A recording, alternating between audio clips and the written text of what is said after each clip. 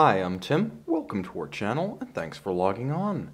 If you enjoy these watches and you enjoy these videos, do me a favor and subscribe right now to our YouTube channel here at Watchbox Reviews. Then I could send you my best to your inbox on a daily basis and I'd really appreciate it. If you like this watch, you can buy it on our website, thewatchbox.com. Buy, trade, and sell luxury watches on thewatchbox.com. And today we are discussing an all-time great Vacheron Constantin Patrimoine Traditionnelle chronograph 49172 in 18 karat white gold. And I realize you might be a little bit confused. Patrimony Traditionnelle, isn't that two separate model lines?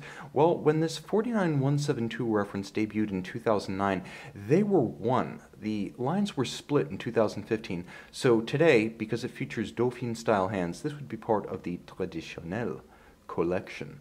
But we'll just call it the 49172. 42 millimeters in white gold. This is a gorgeous traditional Geneva style manual wind chronograph. Relatively slim considering 11.3 millimeters thick with a sloped bezel, it easily slides underneath any tight dress cuff or sleeve. From lug to lug, it has impressive stance, but it's not oversized, 50 millimeters with tightly downturned lugs. I always say that if you have a smaller male wrist, which I define as about 14 to 16 and a half centimeters circumference, you want 50 millimeters or fewer lug to lug. This watch certainly makes the cut. So if you have that smaller wrist, you're good to go. 22 millimeters is the lug spacing, so it has a broad stance on the wrist and it has a nice planted feel thanks to the broad strap. Also, with a 22 millimeter strap, it's a standard size. You'll have many OEM and aftermarket accessory options. You can see that the profile of the lugs is perfectly suited to a smaller wrist as there is a tight invert ducktail or a, a, downturn to the end of the lugs so that this watch will easily curve around the tight fold of a small wrist periphery, and there's a semi-curved spring bar that allows the strap to be drilled closer to the case, allowing the total distance between pivots to be narrower and you can pull it straight down around the tight curve of a small wrist. The strap itself is black, semi-gloss, medium rectangular scale alligator leather as you can see unbolstered with a folded edge and a monotone stitch on the underside, supple calfskin, and it comes with a full white gold deployment clasp. Now you will note white gold fully finished inside and out, a combination of media blasted and polished. You'll see the Maltese cross motif that is the icon of the manufacturer on the inside of the clasp. You'll see it on the buckle of the clasp, and you will see it on the dial of the watch as it is a recurring theme with Vacheron. Now Vacheron has styled the entirety of the watch. It's all sensuous curves, as in the case band, but also sharp masculine creases and folds. I particularly like the slight setback of the case band below the midpoint that continues into the lugs. It's sharp and it's kind of attention to detail that sets a fine watch apart, a great watch apart from the merely good. You also note that the coining of the case back is highly distinctive and gives sharp definition to the case back, in contrast to the more transitional profile of the bezel, which is shallow and stepped above the mid-case. You'll note that the watch, entirely in high polish, wears that polish well, as its traditional proportions and lines prevent it from appearing garish. Now the dial is silver opaline, which is to say very lightly frosted silver metallic. There are several metal coats, colors, and textures on the dial. The basic opaline matte has a light glowing quality in direct light rather than the explosive quality of a sunburst grained dial.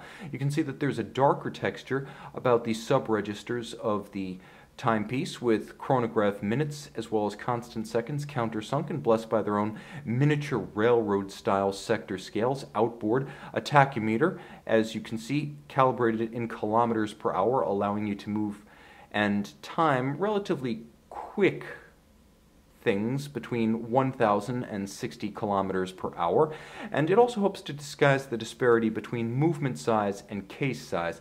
Like the Patek Philippe 5070, Vacheron does a good job of that with this timepiece. You'll also note the inward cantilevered, applied, diamond polished, and faceted, largely handmade and hand placed white gold hour indices.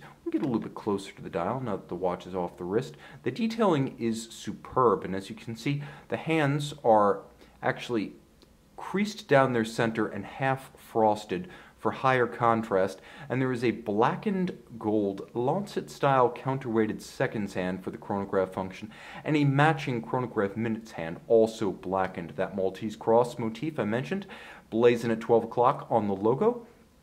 And on the crown profile, you can see vintage inspiration is strong with this one as a antiquated lozenge or rectangular pusher profile recalls the great Vacheron chronographs of the first half of the 20th century. Maltese cross, once more, on the crown. Turn it all over, and one might argue that this is actually the main event. Let's get this in focus and enjoy the vista that is the Vacheron Constantin caliber 1141. Now, what is it? Well, it's Lemania 2310 Bausch, which has been used in everything from the Omega Speedmasters that actually went to the moon, in which case it was the caliber 321, as well as in luxury watches from Roger Dubuis, Breguet, and of course Patek Philippe. It's an old school, slow beat, 18,000 vibration per hour manual wind chronograph caliber, and of course 48 hours power reserve manual wind and a big slow beating 2.5 hertz balance.